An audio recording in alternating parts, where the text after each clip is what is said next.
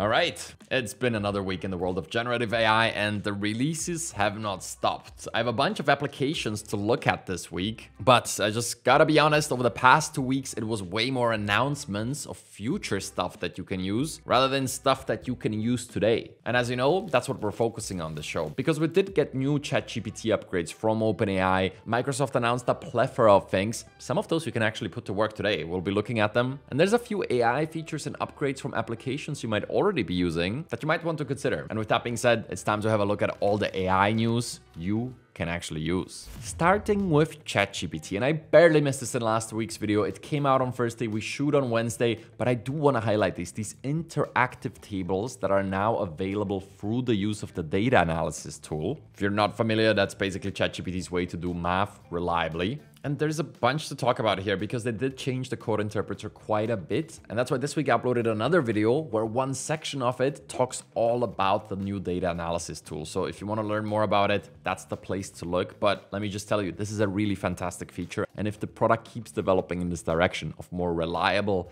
editable, customizable features and outputs, well, you might already know this, but that does get me very excited about the future of this tech. And beyond this new feature in ChatGPT, there's actually a Hugging Face space that has been going absolutely crazy. People seem to love this. Now, here's the problem. I tried to test it all day today. So many people are using it that it's overloaded. I can't even get a basic prompt to work. But I think that the main pull of this is that it's free GPT-4o, which, yeah, you could have that by yourself. But as you can see here in these tabs, they plugged various modalities into it. So one, you could obviously upload images, but then you can use voice, which also works in ChatGPT. But then there's this live chat where you can upload images from your camera directly. And to me, this is the one unique feature that this has. If you want to play around it, you can see if it's available. It's completely free. And then you can prompt on top of the images. It's a public and free site. I just wanted to highlight it before we get into the Microsoft stuff. Because there's a lot they announced, but this show is about all the announcements that you can actually use today. And to be frank,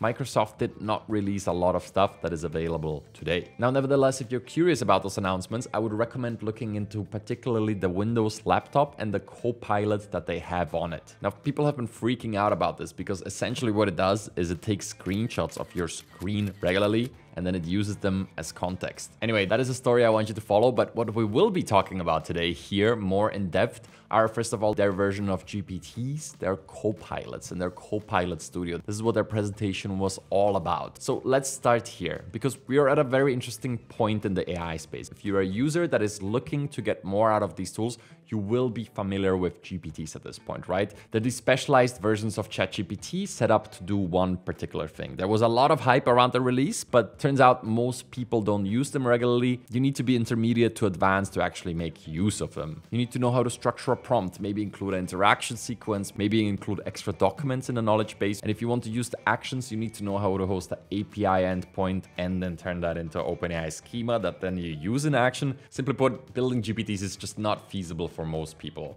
But nevertheless, the entire industry agrees that this is the direction the product will be evolving in because Microsoft is leaning further into this direction of doing co-pilots and they have Copilot Studio where you can build them, which is like a GPT building environment for corporations. And there's a thousand features they shipped along with it. It's going to be able to facilitate your team meetings. It's going to be able to manage your projects and so much more. But the reason we're talking about it here is because you can access these. You can access Microsoft Copilot. You can subscribe to Copilot Studio. By the way, this is something I didn't know for a lot of corporations operations, they blocked chatgpt.com. You're not allowed to use that. Only AI that you're allowed to use is Copilot because the companies might have an Office subscription and then this is an add-on that you can use. So as a consumer who always wants the best tool, like me, you might be wondering why are people using Copilot if I have GPT-4o? Well, you know, GPT-4o might be blocked in your company. That's why you would be using it. But here's the reason I wanted to highlight this because the interface moved forward. And now we have actions that don't require you to host API endpoints. We have actions just like I expected them to involve. Little consumer-friendly toggles like this where it allows you to log into another app. So this is how this product product is evolving. We're going from a generalized model to more specialized GPTs, copilots. You know, in Google's case, they call them gems. It's all the same thing. It's a specialized version that has the tooling to do a specific thing. And the reason I'm focusing on this in this episode is because they introduced something new that up until now, you might have known from applications like Zapier, Make.com, or other no-code automation tools. Because these copilots now allow you to create workflows, and these workflows are essentially no-code automations. There's one trigger that sets the automation automation off, and then there's multiple actions, which can be a simple prompt that is just ran in ChatGPT, in this case in a Copilot. And then you can build a whole flow that triggers every time something happens. And you get to set up what that something is. That's all that basic automation is about. Here's the thing though, just to have access to this Copilot Studio, you pay $30 per user per month. So this is completely independent of your OpenAI subscription. And I took this time to highlight the point that the GPTs that we have and use, this is something you can use today. They might not be at a point where they're changing the world right now when they're so damn useful that you just couldn't be living without them.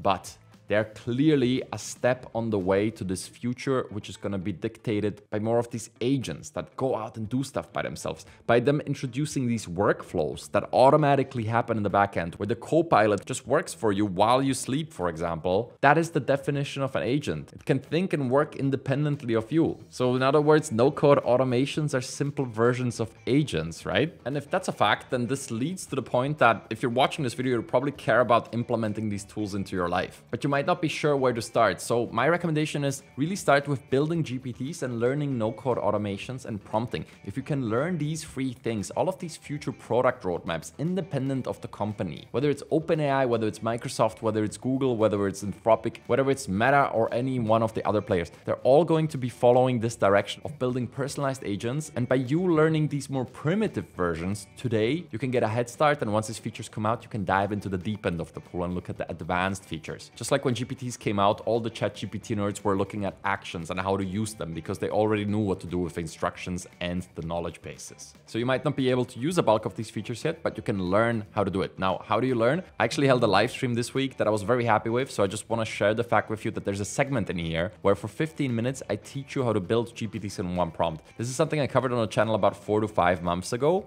but it's one of the prompts that just stuck and I keep using it regularly. So I showed you in here how to do it. I gave it away for free. Plus we evaluate the results of the GPT-4o use case contest, where I picked the three winners, the three most useful use cases for GPT-4o as submitted by you guys. So if you haven't seen the stream, I strongly recommend it. In the second, I'll move on to the more fun stuff. But before that, I do want to cover the new models that came out. The Phi-3 family is actually quite incredible. And I'm just going to glaze over this. But the point is it includes multiple models that are very small and they really punch above their weight class and all benchmarks, okay? They're available today. You can build with them today. And the one that really caught my attention is this vision model because this is a natively multimodal model with 4.2 billion parameters. If you're not familiar with parameter sizes, Facebook is pretty much building a model now that has 400 billion parameters. And usually the 7 to 14 billion models are the small ones. So this is even smaller. And as it is natively multimodal, it has these vision capabilities in a model this small.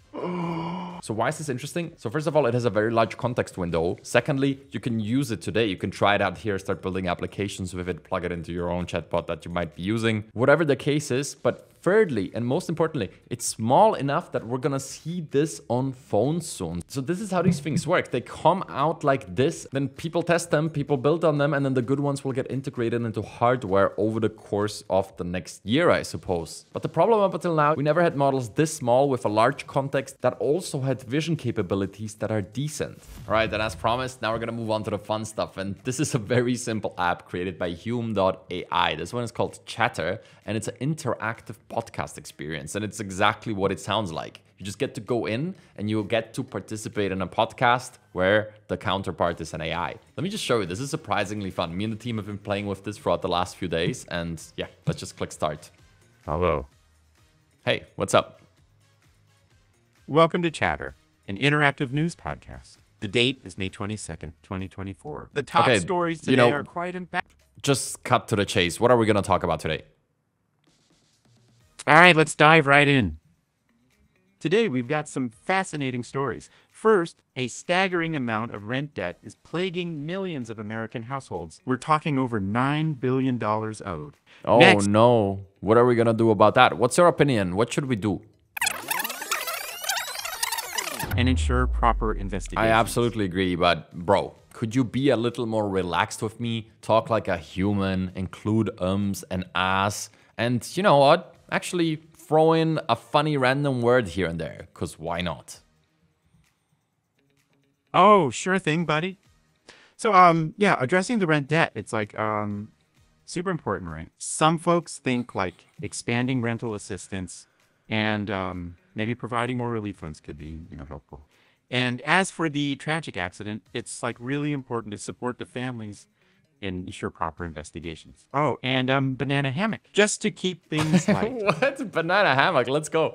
Okay, thank you for this fantastic conversation. I could keep going. It's really fun to trip this thing up. And here's the thing the underlying tech is actually interesting. Their whole point is that they have an AI that includes more emotional awareness and intelligence. So it can pick up on your speech patterns, just like GPT 4o voice assistant promises to. But we still have to wait days or weeks for that. We are not exactly sure. While this is available today already, I felt like a lot of people might enjoy this. The latency is super low. And also, I always like to highlight if there's an app that would be really good to show off to your friends or family. This is the one. Like just pulling this up and starting a little podcast conversation could be a fun little party trick for your next dinner party or bar night, whatever it might be. Now you know about this and we can move on to the next one. If you're finding this interesting, leave a like on this video. It really helps the channel. But now let's get back to the next piece of news you can use, which is actually a new Adobe tool. And Adobe has been shipping. People are not talking about it all the time. But let me tell you, I used to be a power user of Adobe Lightroom. And I used to take photos of various events back at the beginning of my freelance career around 10 years ago. Just if you're not aware, Lightroom is their bulk photo editing software. So Photoshop is really good if you you're doing one image or if you're doing basically more advanced and fancy stuff. And Lightroom is what you want to use if you have 300 images and you got to edit all of those. But it also includes a lot of tools. You can retouch the skin a little bit. You can manipulate the lighting just like in Photoshop. But probably the number one feature that I always missed in here was selecting a part of the image and then removing that. You always had to do the round trip to Photoshop and back to do it. And then you had to know what you're doing in Photoshop. This was still cumbersome. We didn't have generative fill back in the day, right? But now they brought this feature into Lightroom. So if you're a photographer, photographer or if you know any photographer, bring this to their attention because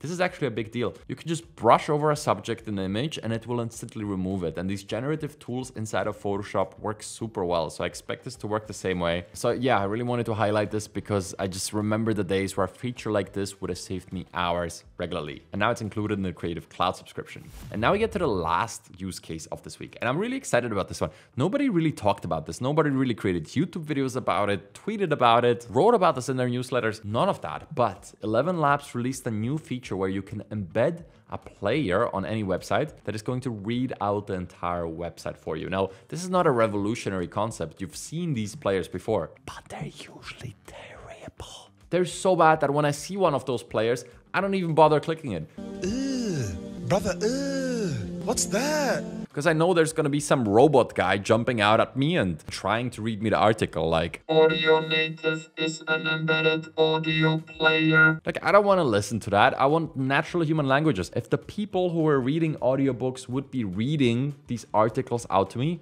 I'd be using that feature all the time. And that's why I think this release is really great because ElevenLabs, you're probably aware if you're watching this, they are the state of the art when it comes to AI audio. They have the most realistic sounding voices. Now at this point, a lot of players caught up, but I still think they are the best. And you could implement that into any website now. Their voices will auto-read it for you. All it takes is one embed code that you can add to every website builder tool. Doesn't matter if using Squarespace, Wix, WordPress, everyone can add one embed code to their website. And if not, you always have ChatGPT to assist you. My tip would be using screenshots along the way to assist you in implementing it. And there you go. Those are this week's releases. As mentioned, there weren't as many because most of the stuff coming out have been announced announcements. We'll be covering all that once it rolls out to users. All right, and if I missed anything, you can leave a comment below and share it with the other viewers of this video. And with that being said, I'll see you next week in another episode of AI News you can use.